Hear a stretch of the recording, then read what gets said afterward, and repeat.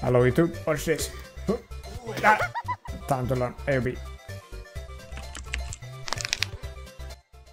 Welcome back to another Swedz tutorial. Imagine a world where you don't have to update offsets and your game hack can adapt to updates on its own. It sounds too good to be true, right? Actually, no, because today we are going to learn how to AOB pattern scan in C Sharp. This method will search through the whole process and find the signature we provide. This is really overpowered, you see, because then we just have to find patterns that lead to whatever we wanted and let the scanner do its thing. This opens a lot of doors to trainers that were impossible before and we can enhance our C Sharp skills even further. But before we head into it, make sure to join the C Sharp army by subscribing, liking, and writing a really cute comment. If you scored, should be available. And before you try anything of this, remember to always read the terms of agreement slash usage for your test game and be aware of their rules. Now enjoy this showcase. Welcome to today's tutorial.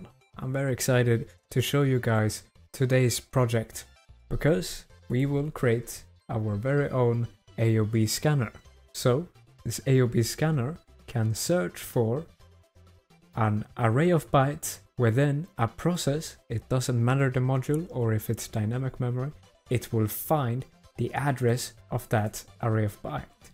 So for this example, I will be testing on Assault Cube and we will try to find the instruction that decrements the ammo. So let's copy and paste add inside of this method here and run it. And would you look at that? We have two addresses.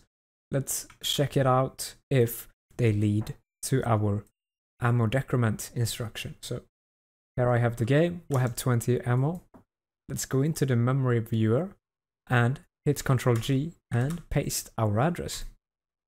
Here we have a de decrement operation and we can see that the bytes match FF, FF, 0E, 57, they match and we can replace this with code that does nothing just to showcase that we did find the instructions that we wanted. So this can be used for any array of bytes that you would want to and we can also add wildcards which means change some of these bytes to ignore or be ignored in the search. So let's add some more.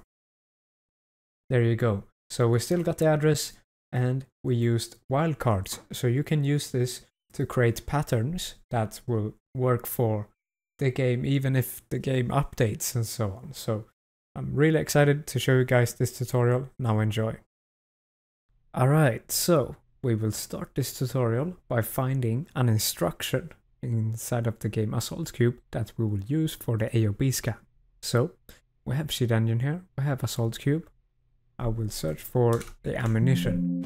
find instruction that leads ammunition. So I found remove the second one. We know that this is the ammo address. So if we go into edit, settings, debugger options, then use VEH debugger, we can Right click, then find out what writes to this address. Click on yes, and then we can shoot a couple of times, and here we can see five counts of this instruction, which decrements the value of ESI dereferenced, or however you say it. So this is an instruction that would remove ammunition from our clip or magazine. So in this tutorial, we will search for this these or this instruction so we can use it later on. So let's copy this by clicking on one line and then shift click on some lines down then right click on copy to clipboard bytes only no address and then we can paste it in our notepad deletes ammo you can for example click on the replace with code that does nothing, and we would have an unlimited ammo. So we can search for this code instead of holding this address in our our application and it would work after the game updates probably instead of just holding this address. So let's create this AOB scanner now. So the first thing will be to create a new console app project in Visual Studio. Let's name it something with AOB and the .NET framework, let's uh, choose .NET 6. We will remove this template code and then create a new class called Memory Scanner. This will be the only class we create today and it will hold the scanning methods and some process information.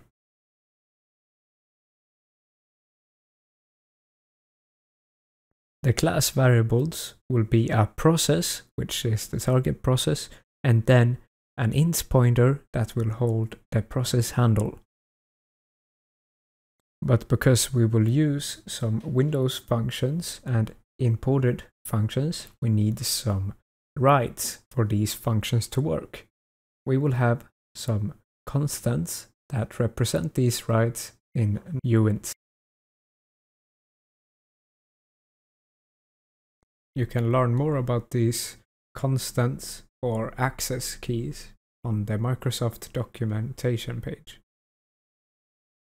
Now the imports will be open process, read process memory, virtual query x, and then the struct for the memory basic information. The open process will return as an int pointer a handle for our process with desired access. Then read process memory explains itself.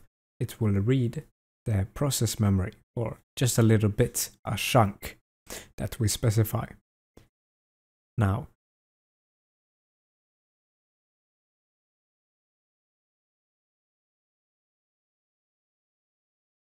Virtual query X will get information on the memory pages inside of our process so we can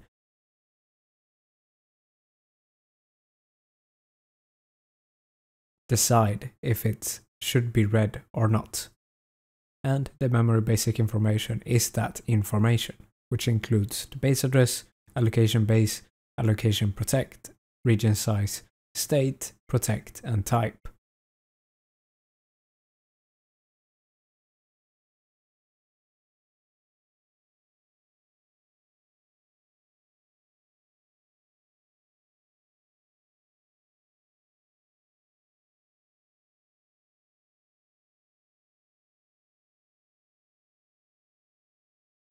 But before we will do any iteration through our process, we have to convert this byte string to a usable byte array.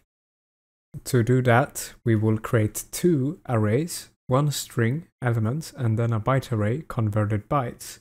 We will split the byte string into these elements, which will contain the byte in or the bytes in decimal and our wildcards.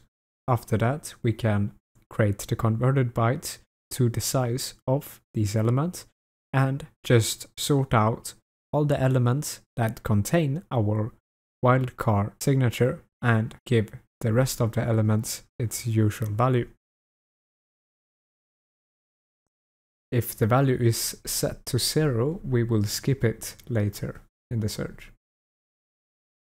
Now, because our target process and process handle will change from whenever we create our scanner, we will have to include them in our constructor.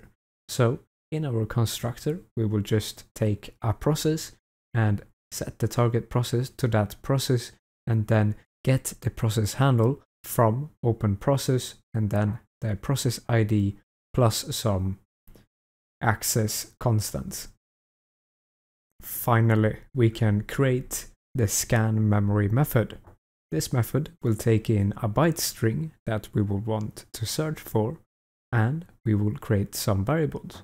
So we will have a list of int pointers that will be the addresses that match our byte array. We also will have a an int pointer for the current address in the iteration, and then a variable that holds our converted byte array from our byte string. Then, with these variables, we can start to iterate through the memory. Now, the memory contains of these memory pages or memory regions that has certain protection and certain information tied to them. So we will get these information pages with the memory basic information structure and then check that it is readable. And these include the check of the state that it's committed and if it is protected or not and so on. If it isn't, we can just go ahead and read it. Now to do that, we will create a buffer, a byte array buffer of the region size and then use read process memory with that buffer and the process handle base address of our certain memory region and read all of its information. If it's read, we will now loop through each byte and compare it to our signature array. Now the first loop will be of the memory region's bytes. We will deduct our signature byte array length to not step out of bounds. Then, inside of this loop, we will have a boolean match that is set to true and it will be set to false if there is a mismatch. Then we will have another nested for loop that checks with the bytes above if they match our signature byte array. We will do that by checking each of the bytes in our signature byte array if it's equal to zero or if it's equal to the buffer's current byte and if it isn't, we can say that it's a fail, they didn't match.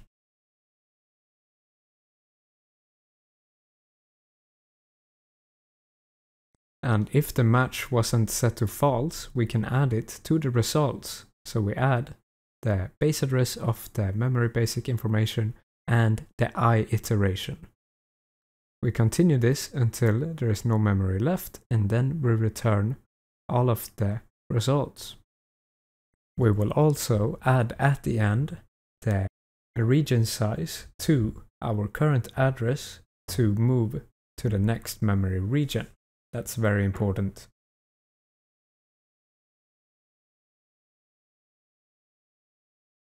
Alright, so let's try our scanner out. We will get the swed NuGet package so we can easily access the process and then we will create an instance of the swed class, but also our class or memory scanner. If the code that I'm writing now confuses you, please watch the how to hack any game tutorial that I've made. It should explain. Then we will scan for our byte array that we found in the beginning of this video. I know it's a bit different signature here, but it's uh, still the same base, so it's a bit longer, but yeah, it's still the same. Then we will loop through all of the results and write them to the console with the hex base. Now before we start the program, make sure to fix this small error that I made. It should be does not equals to. Alright, so let's try out our scanner now. I have my byte array or my signature that I want to find and here I have the game. So let's try and run it and we can see that we have our address. Now, if you remember from the showcase, this is the exact instruction that we were looking for. So let's go into the memory viewer and confirm it. We were looking for the instruction that removes ammunition from when we shoot. If we remove its power, we should have unlimited ammo. Alright, so we found our signature. Let's uh, use some wildcards as well now.